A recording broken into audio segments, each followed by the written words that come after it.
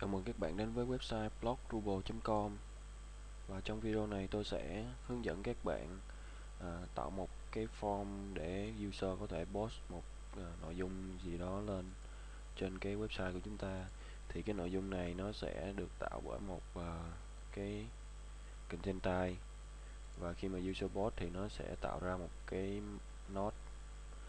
À, thì trên màn hình đây là một à, cái form post câu hỏi.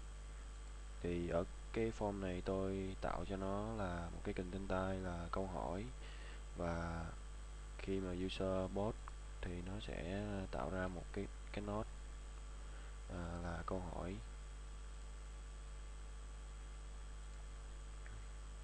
Đây là question. Thì hiện tại thì à, chưa có ai à, bot à, question hết.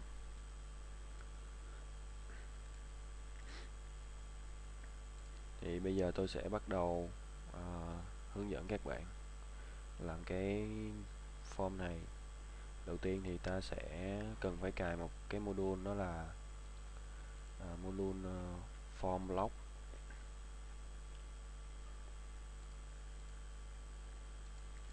form block đây là module nó sẽ giúp cho chúng ta uh, chuyển một cái nó sẽ giúp cho chúng ta tạo một cái block mà trong cái block đó sẽ chứa một cái form. Và bây giờ các bạn có thể ờ, download ờ, về và cài.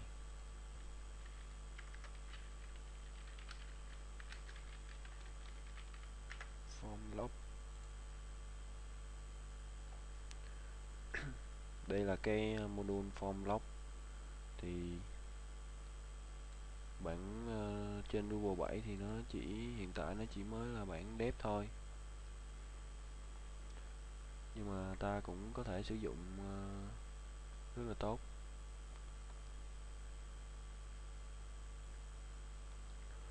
À, bây giờ à, sau khi cài à, cái module này xong thì các bạn à, sẽ tạo ra một cái content type. Ở đây tôi sẽ tạo một cái content type tôi sẽ đặt tên nó là uh, user bot. Thì đây là cái content type tôi sẽ đặt tên nó là user bot. Và tôi sẽ cho nó là không có hiện trên trang chủ và không uh, không public tức là sau khi uh, sau khi người user post xong thì uh, tôi sẽ phải vào trong uh, content và tôi sẽ review trước. Sau đó tôi sẽ chỉnh cho nó public. Và sau đó là sale và add field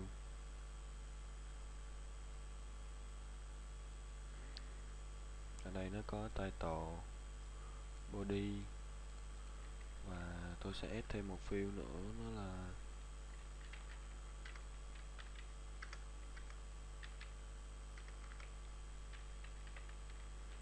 tâm uh, image.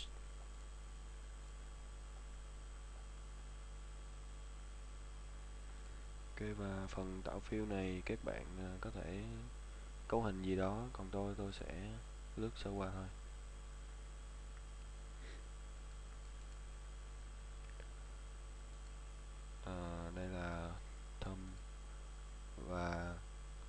Tiếp theo sau tiếp theo thì uh, ta sẽ qua cái edit cái content type này. Thì sau khi các bạn cài module uh, form block thì ở đây nó sẽ có một cái tab đó là form block và sẽ cho ta, ta sẽ check vào cái checkbox này đó là enable enable data entry form ở block. Ờ, uh, sale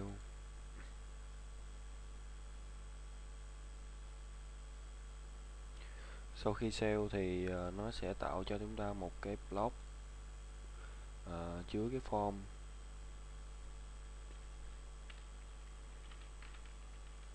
User post. Đây. Content type của chúng ta là user post và nó sẽ tạo ra một cái block như, như thế này. Bây giờ tôi sẽ tạo một à, basic page đây là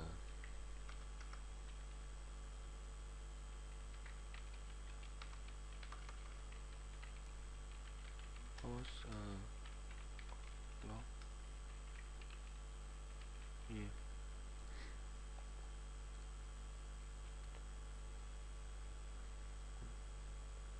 Đây là tôi sẽ dùng cái bay này để chứa cái form và edit.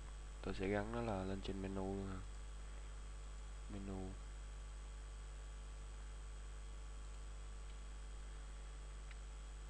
Đây, nó đã hiện trên menu và nó chưa có gì hết. Ta sẽ mở nó một cái trình duyệt khác để đăng nhập một cái ờ, tài khoản khác vào.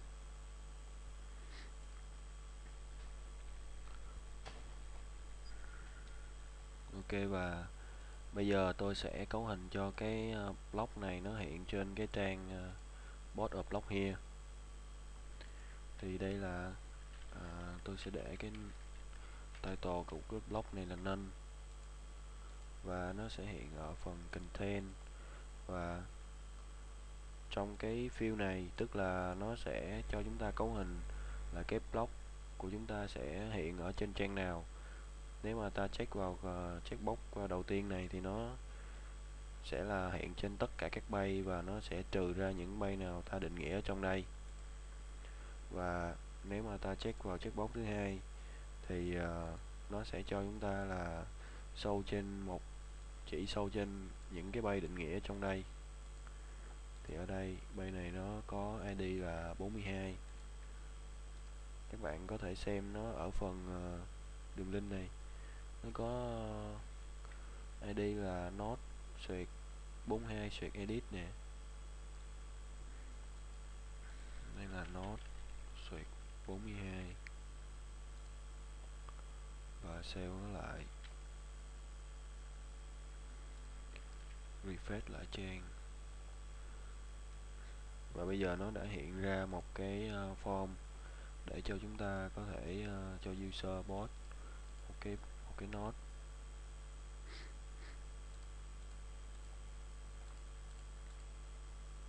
tôi sẽ vào với cái user khác. À, là một authenticate user.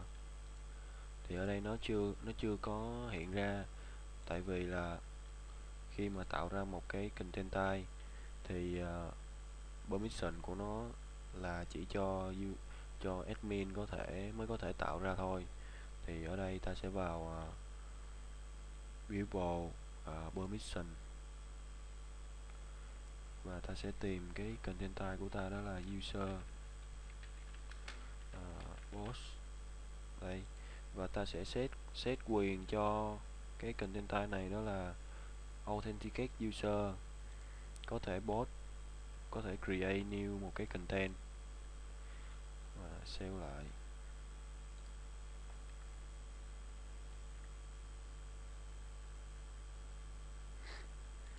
Ok và bây giờ ta sẽ refresh lại trang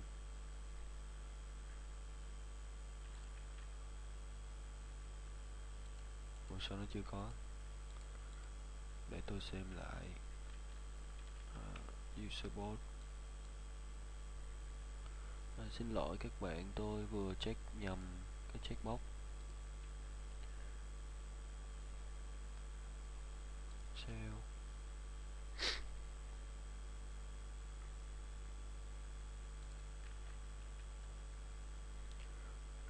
Đây là cái form ờ, uh, bot một uh, một uh, cái nốt.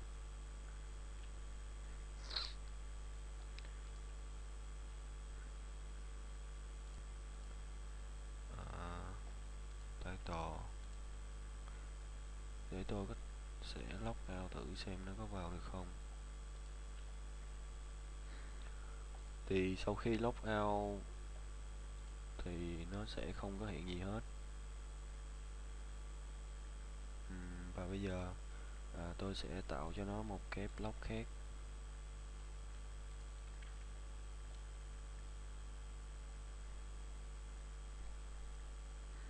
Add a block.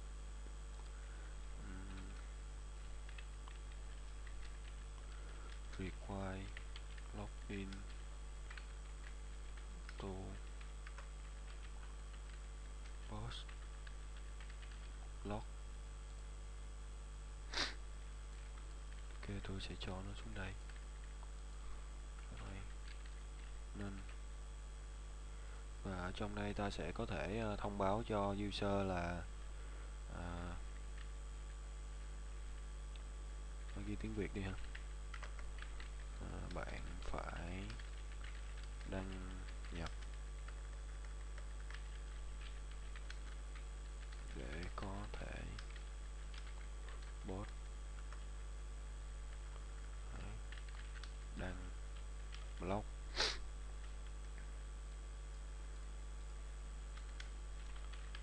hoặc lý nếu chưa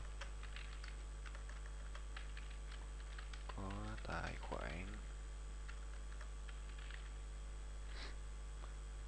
ở đây ta có thể là cho nó cái link à,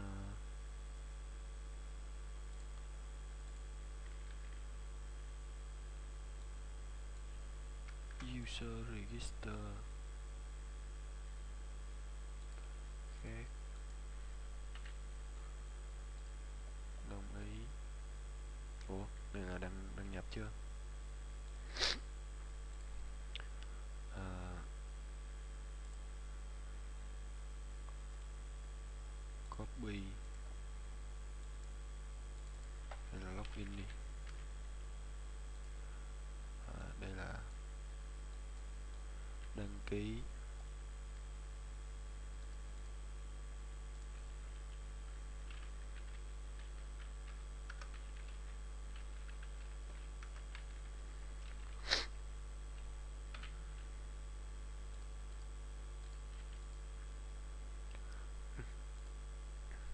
ok thì cái uh, block này ta sẽ cho nó hiện ở content và cũng ở trong cái bay uh, node 41 và user đó là role đó là anonymous user.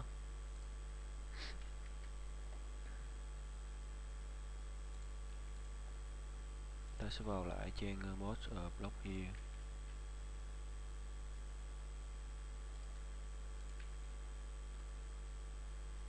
À, require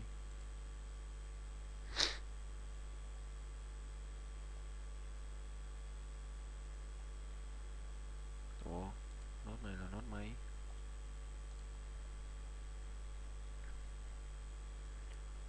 À, nó là nốt 42 chứ không phải là nốt 41 42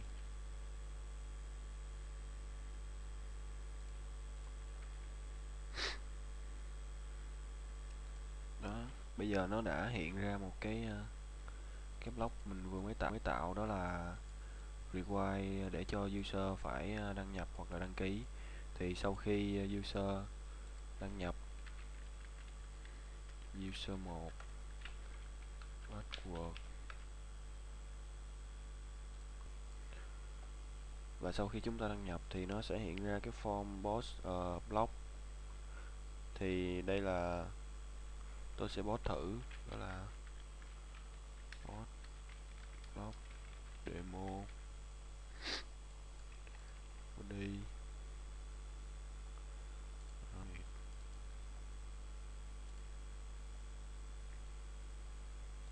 Sale. Sau khi sale sau khi user đã sale thì nó sẽ hiện ở trong cái phần quản lý và nó chưa được uh, public. Thì ở đây admin có thể uh, review trước và sẽ public cái cái uh, content này. Là ta có thể uh, dùng uh, tài khoản admin để edit. Sau đó thì ta sẽ public nó ở đây và có thể uh, cho nó hiện ở trang chủ hoặc là public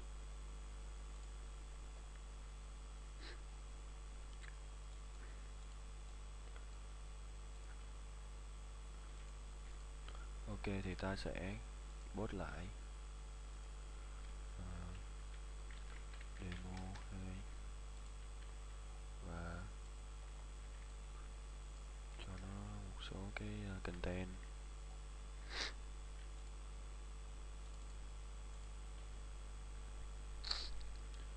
Review. Thì nó sẽ tạo ra một cái ờ, review trước.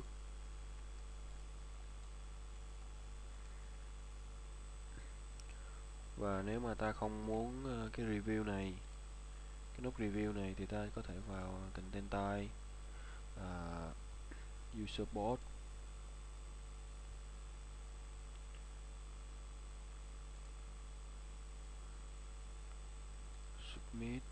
review là ờ, disable. Ở đây chỉnh cái title cho cái field đó là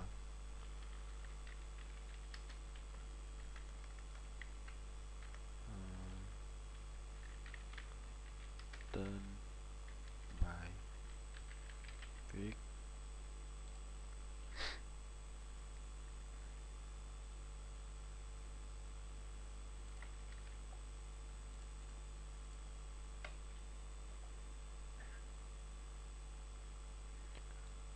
tên bài viết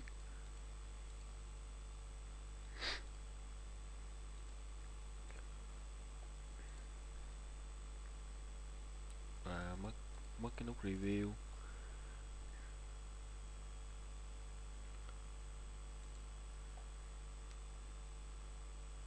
Log out và vào lại. Ok thì uh, trên đây là phần uh, là cái bài hướng dẫn mà có thể tạo một uh, tạo cho user một cái form uh, post một cái content. User một.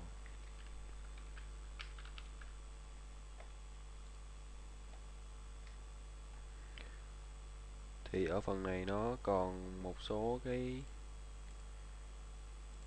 form nó xấu. Ví dụ như là cái phần test format này ta có thể disable nó đi ở trong uh, code. Uh, hoặc là ta có thể chỉnh sửa cái field uh, upload này vân vân. Thì uh, phần này chắc có lẽ là tôi sẽ hướng dẫn trong các bạn hướng dẫn cho các bạn ở uh, video sau. Và chào tạm biệt các bạn và hẹn gặp lại. Nếu các bạn uh, thấy uh, video của blog Google.com à, ờ, có ích cho các bạn thì có thể subscribe trên ờ, youtube hoặc là à, nếu thấy thích bạn hãy like uh, bay và video của uh, blogrubo.com à, tạm biệt các bạn.